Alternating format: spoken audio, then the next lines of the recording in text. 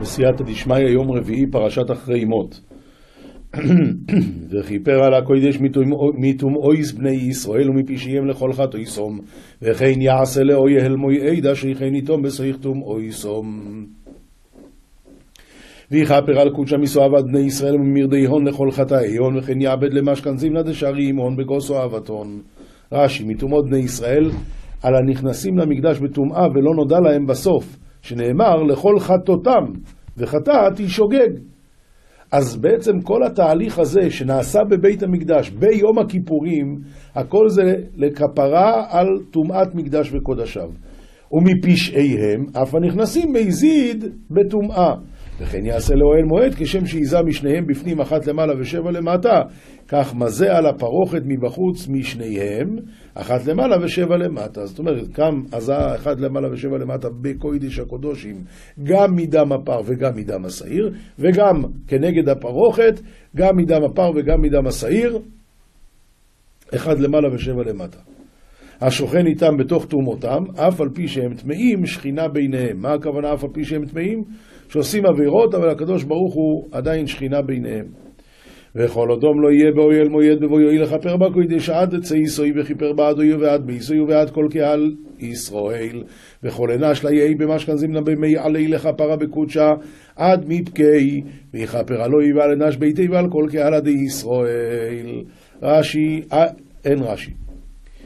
רק מה כן, צריכים לדעת, וכל אדם לא יהיה באוהל מועד אז הגמרא במסכת אה, יומא מספרת על שמעון הצדיק, שכל שנה הוא היה נכנס ויוצא ואומר שזה בסדר. שנה האחרונה שלו, הוא היה, הוא היה כהן גדול, הוא נכנס פנימה, הוא יצא ואמר זהו, זו השנה האחרונה. שאלו אותו איך אתה יודע? אז הוא אמר שכל פעם נכנס איתו מישהו לבוש בדים לבנים, ועכשיו היה לבוש בדים שחורים. שואלת הגמרא, אבל כתוב מי זה היה? וכל אדם לא יהיה באוהל מועד. בבואו לכפר בקודש עד צאתו, אז מי זה היה? אומרת הגמרא, זה היה מלאך. שואלת הגמרא, ועדיין מלאך גם לא יכול להיות. למה? כיוון שיש להם דמות אדם. עונה הגמרא, זה היה השכינה בעצמה. עד כאן הבבלי. הירושלמי ממשיך לשאול, והכהן הגדול בעצמו, איך היה שם? עונה הבבלי, בשעה שהוא נכנס הוא היה מלאך, לא בן אדם. עד כאן הירושלמי. שואל הרבי מבלזר, בשר שלום, זכר צדיק לברכה, אבל הרי גם אדם לא יכול להיות שם. גם מלאך לא יכול להיות שם. אז איך נכנס הכהן הגדול? עונה יסוד עצום. מה שאמרו שמלאך לא יכול להיות, זה מלאך שנברא בתור מלאך. אבל אדם שנברא בתור אדם, עם יצרים, ועם מצוקות, ועם קשיים, ועבר והגיע לדרגה של מלאך, הוא כבר יכול להיות שם. הוא יכול להיות שם. כי הוא הרבה יותר גבוה ממלאך. ויוצאו אל המזבח אשר לפני עדיני וכפרו לו ולא כך מדם אפור ומדם הסועיר ונוסן על קרנויס המזבח סוביב ויפוק למטבח דיקדם אדוני וכפר אלוהי ויישא מדמד תורה ומדמד צפירה וייתן על קרנת מטבח סחור סחור. רש"י אל המזבח אשר לפני השם זה מזבח הזהב שהוא לפני השם בהיכל ומה תלמוד לומר ויצא. מה השאלה של רש"י? הרי אם נניח אם נניח שזה ההיכל בסדר? נניח הנה. נניח שזה, אולי אפילו נצייר את זה רגע. הנה. נעשה ציור.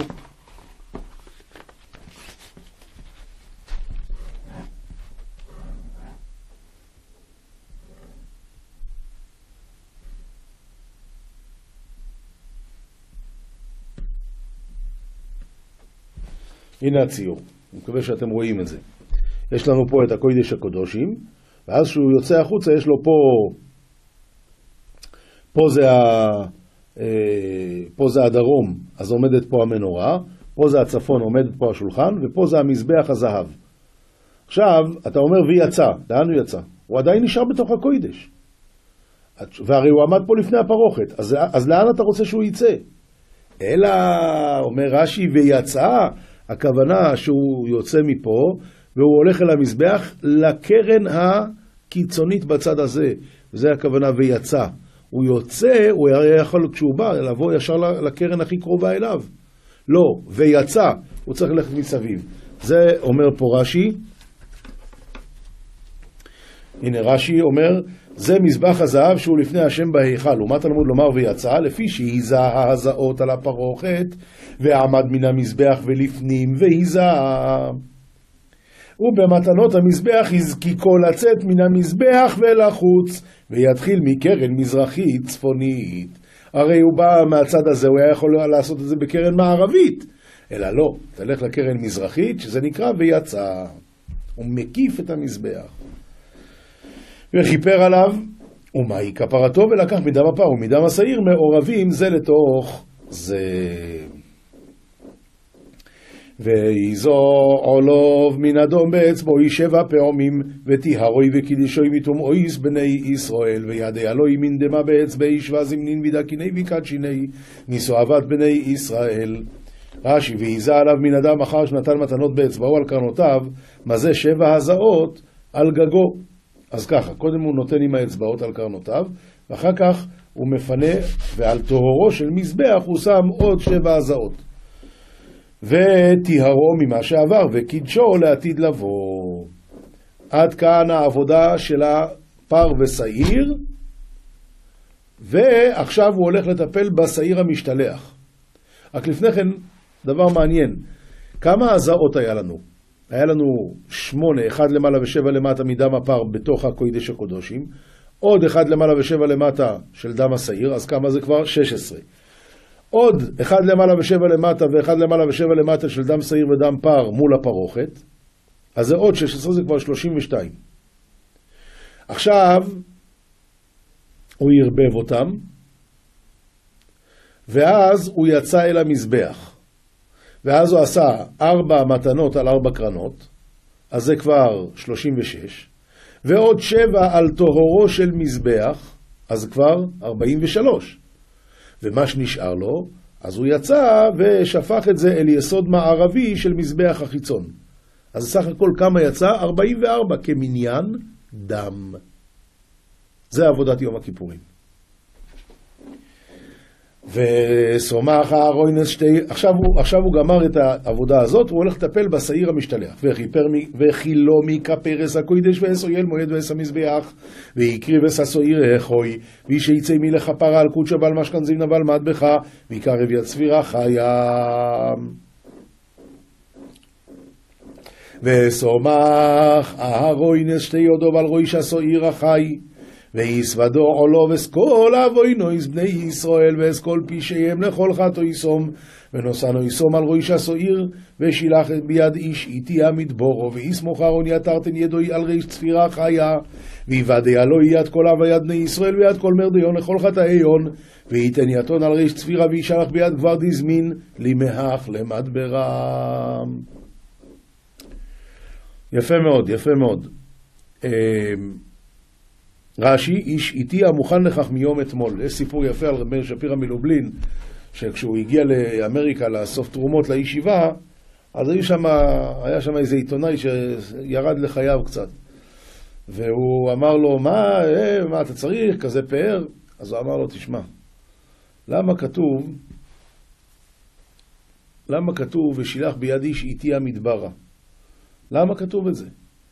אומר, בגלל שהמשלח צריך לעשות וידוי על ראש, הפ... על ראש השעיר לפני שהוא זורק אותו. אבל מי יזכור את כל העוונות של בני ישראל? מי יכול לזכור? התשובה היא, שלחו עיתונאי, הוא זוכר את כל העבירות של עם ישראל. בידיש איתי, עיתונאי, ככה הוא אמר לו בלשון אה, צחוס, כדי לתת לו קצת על השיני, בשיניים, כמו שאומרים. נביאים, יחזקאל פרק כ"ב, פסוקים ט"ז עד כ"א, הוא מדבר על העונש של ירושלים, על כל התועבות שנעשו בה, וניחל טבח לעיני הגויים, וידעת כי אני אדוני, ואתקדש ביך לעיני עממיה, ותדעון הרי אנא אדוני. וניחל טבח, אומר רש"י, תתחלחלי בעצמך על מה שעשית. ותדעי אז כי שאני השם. ויהי דבר אדוני אלי לאמור, ואהבה פתגם נבואה מן קדם אדוני מלמימר בן אדם. היו לי בית ישראל לשיג. כולם נחושת ובדילו ברזל ועופרת בתוך כור סיגים כסף היו. בר אדם, הבו קדמי בני ישראל יפסו לכולהון, כמה דמי ערב ניחש, נחש ובעיץ וברזל ועבר בגור חורה, לפסול את כספה הבו. רש"י לשיג, תערובת פסולה מעורב בכסף וזהב. כור שצורפים בו זהב. ומה הכוונה של כל כל הפסוק הזה שבני ישראל חטאו והם הפכו להיות כמו תערובת, פסולת של נחושת, בדיל, ברזל, עופרת וכסף, שכולם צריכים ל, ל, ל, לייבש אותם, לעשות להם, אה, להעביר אותם בכור. לא כן, כה אמר אדוני אלוהים יענה עוד כולכם לשיגים לכן הנני קובץ אתכם אל תוך ירושלים וכן כדנן אמר אדוני אלוהים חלף דעה ואיתון כולכם לאפסולה וכן האנה כנש ידכון לגוי ירושלם קבוצת כסף ונחושת וברזל ועופרת ובדיל אל תוך כור לפחת עליו אש להנתיך כן אקבוץ ואפיל וחמתי והנחתי והיתכתי אתכם אני אביא את כולכם לירושלים ואז אני אעשה לכם שמה כזה כור היתוך שכל הפסולת תצא החוצה קמח נש כסף ונחש וברזל ועבר ובאיץ לגו קורא להתקפה לא ינורא לאמסיותי קנח נש ברוגזי ובחימתי ואסף אש היציאתכון וכינסתי אתכם ונפחתי עליכם באש עברתי וניתחתם בתוכה ואך נשתכון ואתקף עליכון באש. התפורענותי ותתמסון בגבה פשוט תנמסו. טוב, משלי פרק כ"ו פסוקים ג' עד ח' שוט לסוס מתג לחמור ושבט לגב כסילים.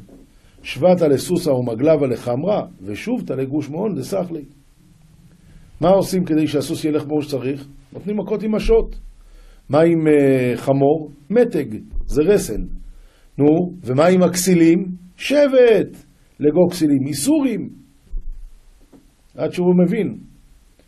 אל תען כסיל כאיוולתו פן תשווה לו גם עתה, לתתל פתגמה לסחלה. הכשתיותא דלא תדמי לי אף אנט. רש"י, אל תען כסיל בדברי ריב ומצה, אל תריב איתו. לצחוק עליו אפשר, ללגלג עליו אפשר, אף אתה כהה את שיניו ואמור לו, בעבור זה עשה השם לי, לי ולא לו, אילו היה שם לא היה נגאל, זה אפשר. אבל לענות לו בדברי ריב ומצה, לריב איתו, אין על מה, הוא, הוא, הוא סתם, עזוב, אין עם מי לדבר. ויותר גרוע, שאתה עוד תהיה שווה, טוב, אז אתם... אם אתה עונה לו, אז סימן שאתה בר פלוגתא שלו.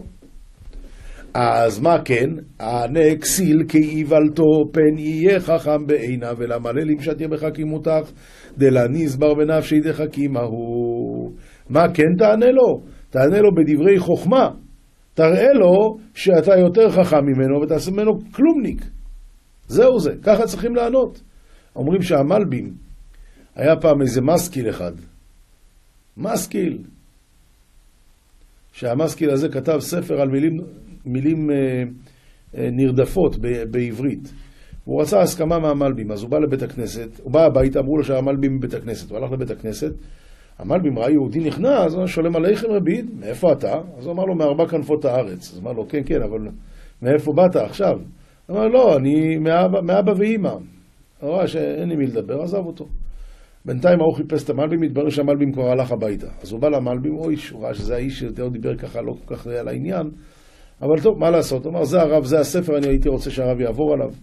אז המלבים מסתכל קצת, ואז אמר לו, עכשיו אני, אני אגיד לך משהו. אני אתן לך אסקומה בתנאי שתענה לי מה ההבדל בין שקץ לשרץ. ההוא לא ידע. אמר לו המלבים, אז אני אגיד לך. שרץ בא מארבע כנפות הארץ, ושקץ בא מאבא ואימא. זה הכל. זה נקרא ענה כסיל כי. לבריאות לך. מסופר על המגיד מדובנה מסופר שפעם אה, הוא ראה, ראה בשבת משכילים, הם ישבו ואכלו חלב. וזה היה אחרי שהם, אה, אחרי הצ'ונט, נו, מה, ברור שכולם בשריים עכשיו. אז הם אה, ראו והם אמרו לו, הרב לא, הרופא אמר לנו לשתות חלב אחרי האוכל כי זה לבריאות, זה עניין של הרפואה בשבילנו. אז הוא אמר להם, נו נו, רפואה כבר יש לכם, עכשיו לא חסר לכם, רק המכה. וכהנה וכהנה, ענה כסיל כאיוולתו. מקצ... מקצר רגליים חמאס, שותה, שולח דברים ביד, כסיל מאן דרעתה ברגלו שתי חטופה, מאן דמשדר מילי ביד שכלה. מה כתוב כאן? מקצר רגליים, אומר רש"י, של שלוחים הרבה. מי ששולח דבריו ביד כסיל, מוכרח לשלוח שלוחים הרבה לתקן מה שקלקל השליח הכסיל. ושותה חמאס שחברו זועף עליו, על ששולח לו הכסיל. דליו שוקיים מפיסח ומשל בפי כסילים. אין תיטל הלכתה לחגירה, תקבל מילתא מן פומי דסיכלה. דליו שוקיים, אומר רש"י, שוקיים של כל העולם, הם נראים לפיסח גבוהים מאוד. ומשל בפי כסילים, זה המשל אומרים על הכסילים, שאומרים, איך אנו יכולים ללמוד חוכמה והיא גבוהה מאוד? בגלל שהוא כסיל אז הוא מדבר ככה. כי צרור אבן במרגמה כן נותן לכסיל כבוד, היכ נקצה דתסא בכלאה, היכ נאמן דעבד יקרא לשיכלה. כמו אבן במרגמה, שקושרים את האבן וזורקים אותה, לא, שמים את האבן לא כדי להשאיר אותה שם, כדי לזרוק. ככה מי שנותן לכסיל כבוד, זה לא כבוד של קיימא. ככה זה הולך. משנה מסכת בבא בתרא, פרק ט' מי שמת והניח בנים ובנות. עכשיו, בכתובה כתוב שהבנות ייזונו מהנכסים כל זמן שהם לא בגרו. עכשיו הוא הניח בנים ובנות. אז אם יש מיליון דולר וזה מספיק לכולם, אין שום בעיה, על זה אנחנו לא מדברים. בזמן שהנכסים מרובים, הבנים ירשו והבנות ייזונו, שום בעיה, זה מהכתובה. אבל כשהנכסים מועטים, פה מתחילות הבעיות, ולכן, כשהנכסים מועטים, הבנות ייזונו והבנים ישאלו על הפתחים. אנחנו מעדיפים את, הבני, את הבנות על הבנים, מפני שהבנות זה לא צניעות שהם ילכו לחזר על הפתחים. ולכן, הבנות ייזונו ממה שנשאר, מה שהאבא השאיר, והבנים שישאלו על הפתחים. אדמון אומר, בשביל שאני זכר, הפסדתי. מה, למה מגיע לי העונש הזה? הרי מדאורייתא אני הוא היורש. אז למה מגיע לי העונש הזה בגלל שאני זכר? לכן הוא סובר, לפי אדמון, שכולם ניזונים ביחד. אומר הרב, אלא לא אפסיד וניזון כולנו יחד, ואין הלכה כאדמוין. עכשיו, הלאה. אמר רבן גמליאל, רואה אני את דברי אדמוין, אבל אין הלכה ככה. משנה ב' הניח בנים ובנות וטומטום. עכשיו, בנים ובנות, בנו, בנים ובנות, אנחנו אה, מבינים, אז יש בנים ויש בנות, אבל טומטום זה משהו שיש שתי דעות מה זה בדיוק טומטום. דעה אחת שהוא או זכר או נקבה, אלא שיש על זה אור ומחפה את זה ואנחנו לא יודעים להחליט אם הוא זכר או נקבה. האפשרות השנייה זה שבאמת הוא סופק זוכר, סופק נקי, ואנחנו בכלל לא, הוא, הוא באמת לא משהו אחד מהמינים. על כל פנים, הניח בנים ובנות וטומטום. אז בזמן שהנכסים מרובים והזכרים יורשים, מה עושים הזכרים? הם אומרים לו, אתה בת אתה, לך לך עם הבנות. הזכרים דוחים אותו אצל נקבות. ואם נכסים מועטים, אז מה עכשיו? הבנות מקבלות. ואז הבנות אומרות לו, אתה תלך כי אתה בן. הנכסים מועטים, הנקבות דוחות אותו אצל זכרים. תמיד זה המוציא מחברו עליו הראייה. אז אם הוא רוצה להתחלק איתם, הוא צריך כמובן להביא ראייה מהו. האומר אם תלד אשתי זכר, ייטול מנה. אם היא תלד זכר, אז הזכר הזה ייטול מנה. ילדה זכר, נוטל מנה. אם הוא אמר, אם אשתי תלד נקבה, אז הנקבה תקטול 200. ילדה נקבה, נוטלת 200. אם זכר מנה עם נקבה 200 וילדה זכר ונקבה, אז הזכר נוטל מנה והנקבה נוטלת 200. ילדה טומטום, כאן אנחנו כבר לא יודעים. מה היא ילדה? בן או בת? אז הדין הוא שאינו נוטל. ולא לא נוטל כלום, למרות שאני הייתי אומר, תשמע, ממו נפשך, אתה יודע מה? הוא בן, אז תן לו מנה. אתה רוצה שהוא בת? אז תן לו 200, אבל לכל הפחות מנה ודאי שמגיע לו. אבל כאן אנחנו הולכים לפי הדעה שהטומטום הוא מין שלישי, אז הוא לא בן ולא בת. אם הוא לא בן ולא בת, ממילא לא מגיע לו כלום. אבל אם אמר כל מה שתלד אשתי ייטול, הרי זה ייטול, ואם אין שם יורש אלא הוא, יורש את הכל. הניח בנים גדולים וקטנים. השביחו גדולים את הנכסים, השביחו לאמצע. יש כאן ילדים קטנים שהם ממש לא יודעים עוד כלום, ויש כאן ילדים, אה, בנים גדולים, שהם מטפלים בנכסים. עכשיו הם מטפלים, והנכסים הושבחו. כשהאבא נפטר זה היה שווה 100 אלף דולר, עכשיו זה שווה 150 אלף דולר. באים הבנים הגדולים ואומרים, אנחנו השבחנו את זה, זה מגיע לנו. לא. כיוון שהם טיפלו בנכסים המשותפים, השביחו לאמצע. זה שייך לכולם. מה הדין אבל? אם אמרו, ראו מה שהניח לנו אבא, הם באו לבית הדין, ואומרים לבית הדין, תראו, זה מה שאבא הניח לנו, ועכשיו הרי אנו עושים ואוכלים. אנחנו, זה אנחנו מראים לכם, זה מה שיש. אנחנו מעכשיו עובדים, אבל אנחנו עובדים בשביל, בשביל עצמנו. במקרה כזה הדין הוא שהשביחו לעצמם. וכן האישה שהשביחה את הנכסים, אישה שהיא אלמנה, והיא השביחה את הנכסים של היתומים, אז השביחה לאמצע. אבל אם אמרה ראו מה שהניח לי בעלי, היא באה לבית הדין ומסרה, הנה, זה מה שיש, ועכשיו אני הולכת לטפל בזה, הרי אני עושה ואוכלת. מה הדין? השביחה לעצמה. מה החידוש בזה? אנחנו נראה אחר כך בגמרא שהייתי חושב שמספיק לזה שיוצא לה שם של חברמנית. כן, שמע, אישה, כל הכבוד, טיפלה, הלכה, סדרה. יש לה שם של חברמנית, אולי היא תמצא שידוך טוב אחר כך. אנחנו אומרים לו, אם היא אמרה לבית הדין ראו, ואני עכשיו הולכת לטפל בזה בשביל עצמי, הדין הוא שזה באמת היא השביחה לעצמה. אומר הרב,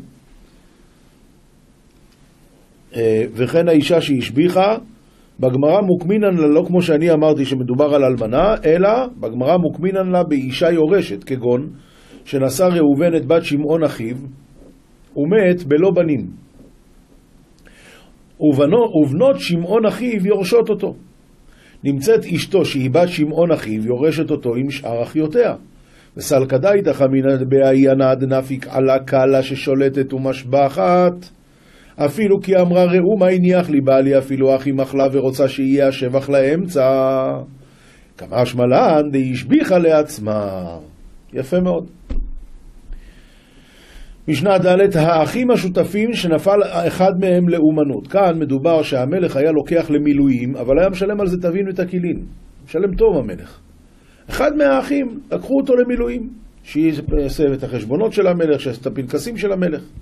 במקרה כזה, האחים האלה הם שותפים, אז הדין הוא שהרווח שהוא עכשיו מקבל מהמלך הולך לאמצע. חלה ונתרפא, אז נתרפא משל עצמו.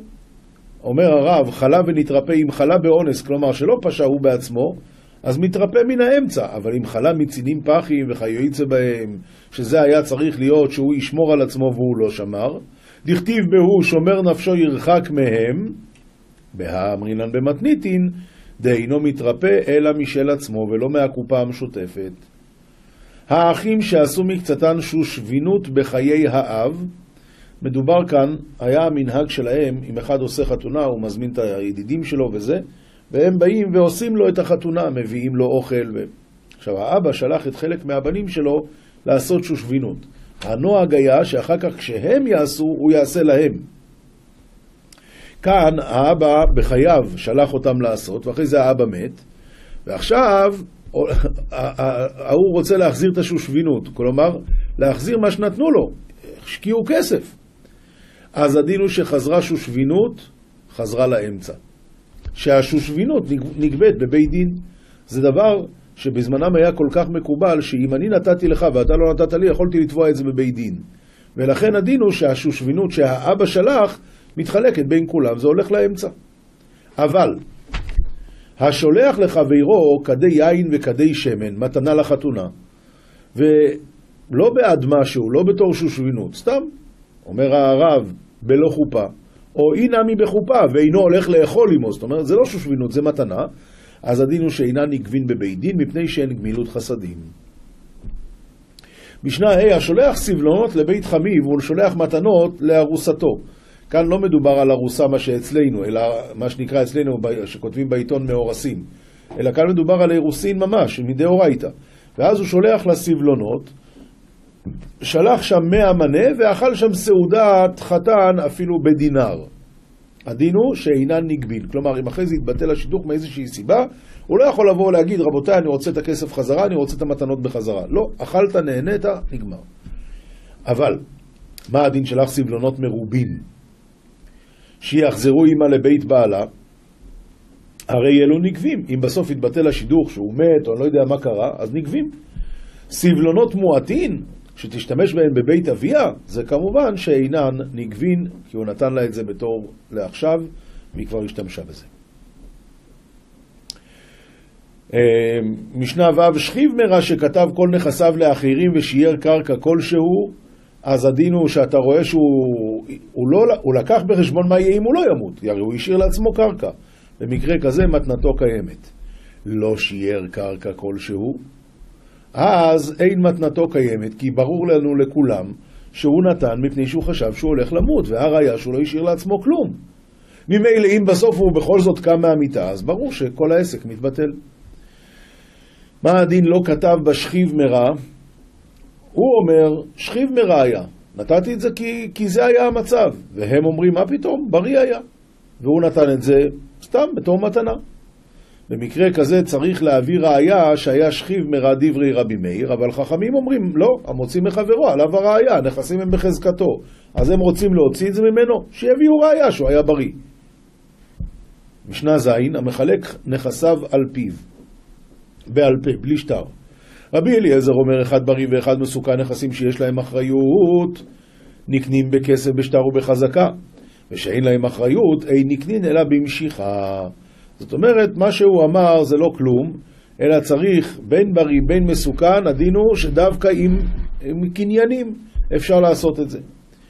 אמרו לו, מעשה באימן של בני רוכל שהייתה חולה, ואמרה, תנו קבינתי לביתי.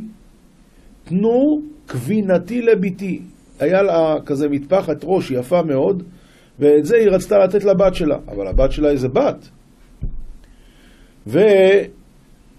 והיא בשני מסר מנה, ככה היא אמרה, והקבינה הזאת, הכיסוי ראש הזה הוא מאוד יקר. ומתה וקיימו את דבריה.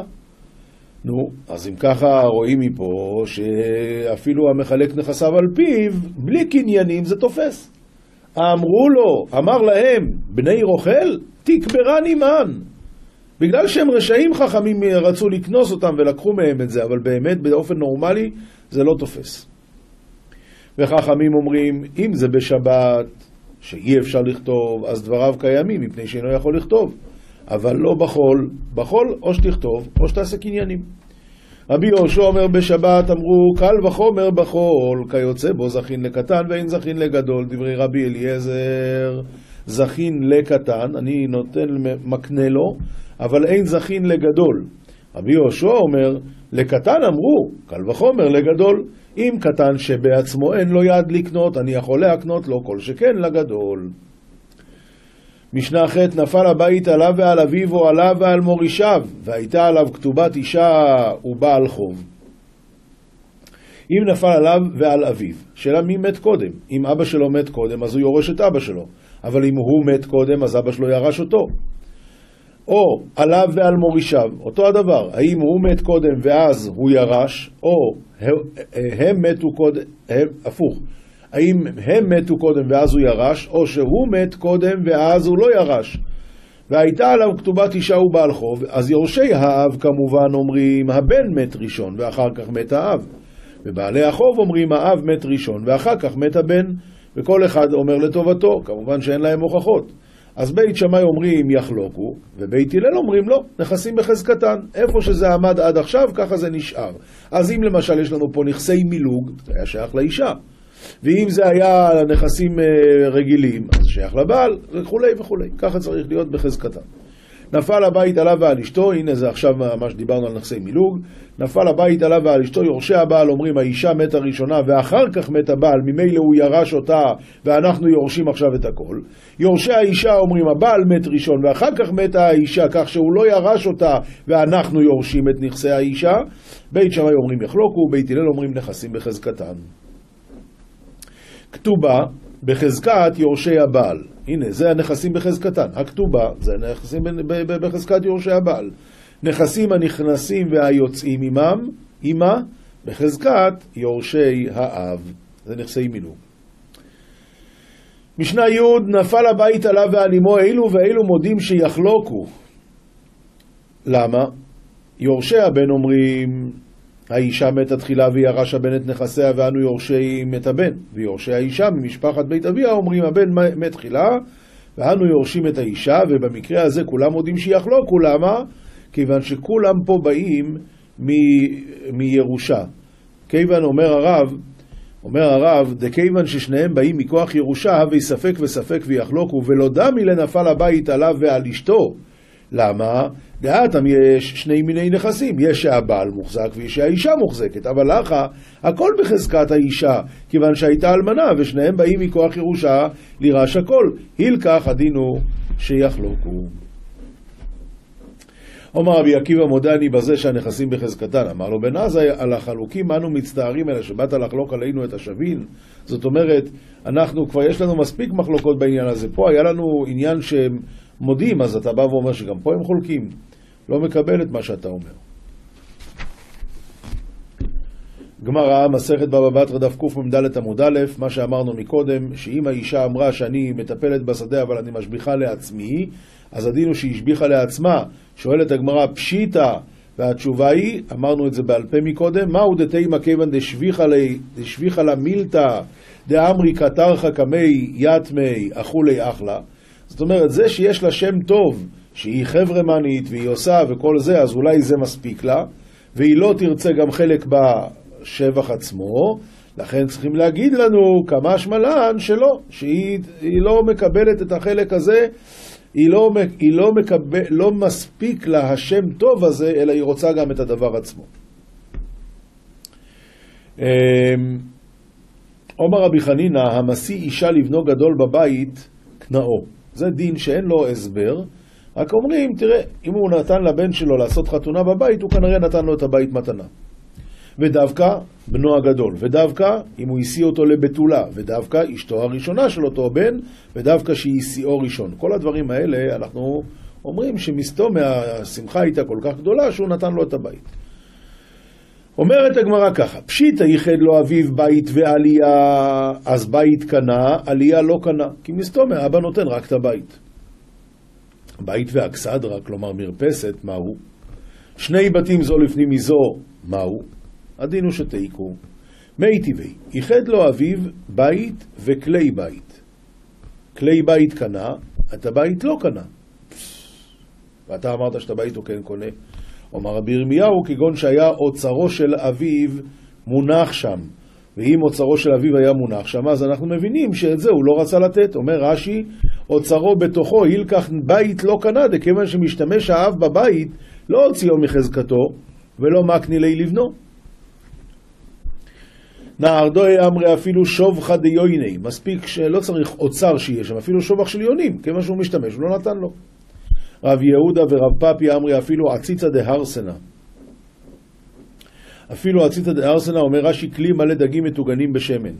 מר זוטרא אנסה בילי ברי וטל עלי סנדלה. הוא לא רצה שהוא ייקח לו את הבית, אז הוא שם שם את הסנדל שלו, כדי שהוא ידע שאני לא נותן לך את הבית. רב אשי נס בי לברי וטל עלי אשישא דמישחא. הוא שם שם כוס מלא שמן. עומר מר זוטרא הני תלת מילי שבינו רבונון כהלכתה בלא טעמה. שלושה דברים הללו, חכמים עשו את זה הלכה בלי טעם. חדה ה. זה שהבן אדם נותן את הבית לבן שלו. אידך, דאמר רב יהודה אומר שמואל הכותב כל נכסיו לאשתו, לא עשה אלא אפוטרופה. הוא לא התכוון לתת לה, הוא התכוון לעשות את האפוטרופה. אידך דאמר רב מנה לי בידך תנאו לפלוני במעמד שלושתן, הדין הוא שקנה. אם הוא אמר את זה במעמד שלושתם, נפקד ומפקיד ומקבל המתנה, אז הדין הוא שקנה, כך תקנו חכמים לפי שהדבר תדיר הוא בין הבריות, ולא הזקיקו חכמים להקנות בקניין ובעדים.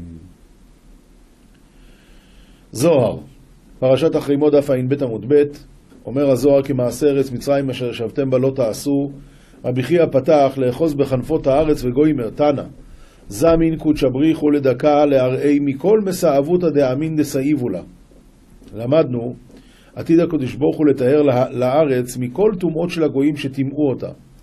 כהי מאן דאחית בתליתי ואן ארטינוף מיני, כמו זה שאוחז בטליתו ומנער את הטינופת ממנו, וכל אינון דאית קברו בער הקדישא למיש דגלון לבר, וכל אותם האנשים הרשעים שנקברו בארץ הקדושה, הקדוש ברוך הוא ישליך אותם החוצה.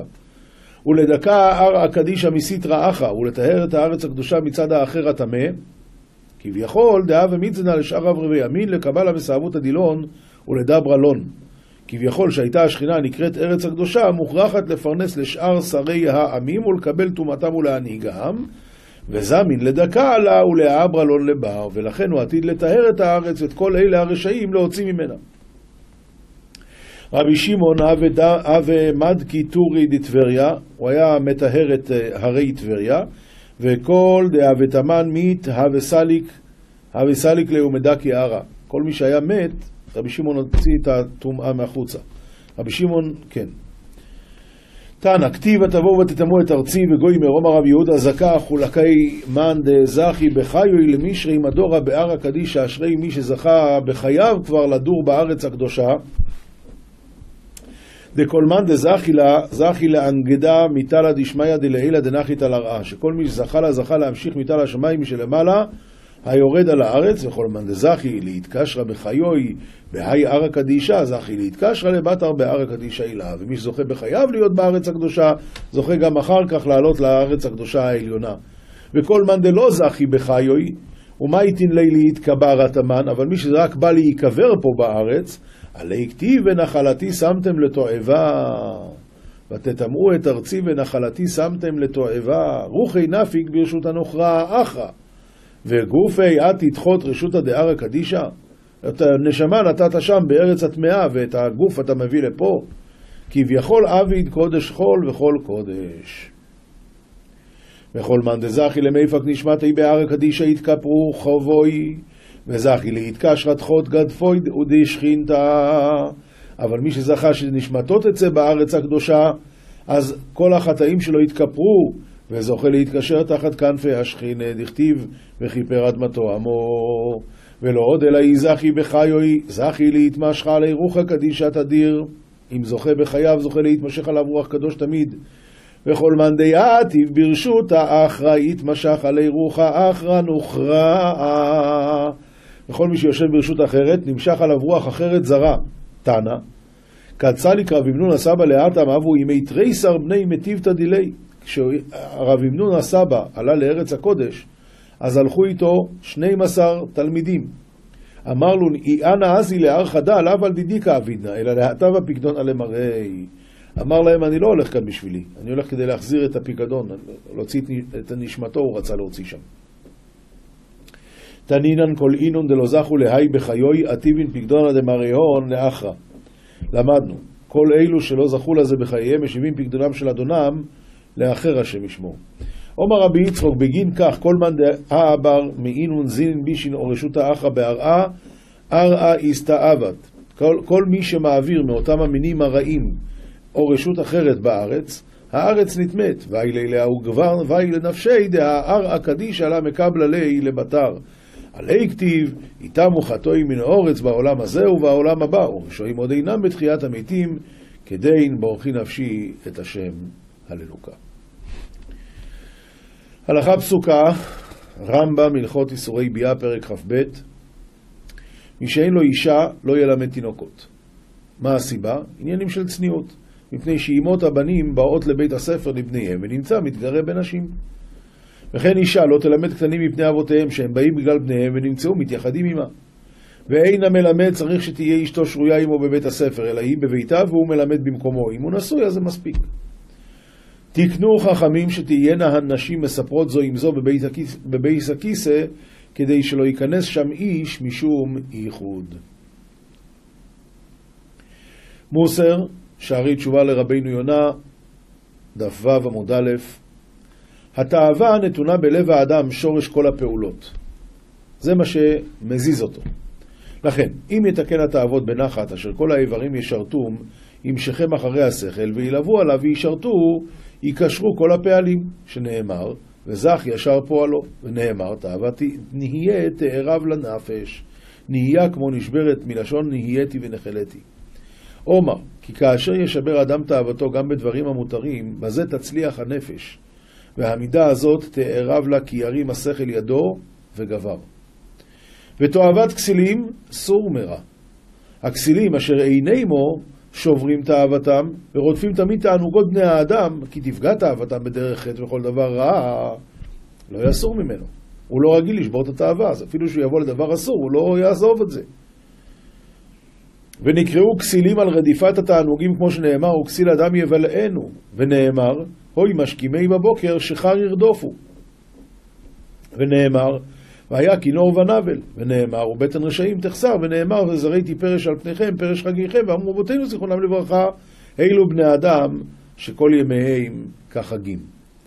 ונאמר לתאווה יבקש נפרד בכל תושייה יתגלה, פירוש מי שמבקש ללכת אחר תאוותו ורצונו, נפרד מכל חבר ועמית, כי ירחקו ממנו אוהב ורע.